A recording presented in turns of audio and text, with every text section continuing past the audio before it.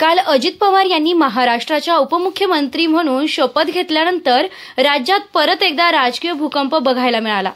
राज्याप्रमाणे अकोले तालुक्यातही राजकीय घडामोडींना वेग आला असून आज अजितदादांनी बोलावलेल्या समर्थक आमदारांच्या बैठकीला आमदार डॉक्टर किरण लहामटे यांनी पाठ फिरवलेली असल्याचं पाहायला मिळालं.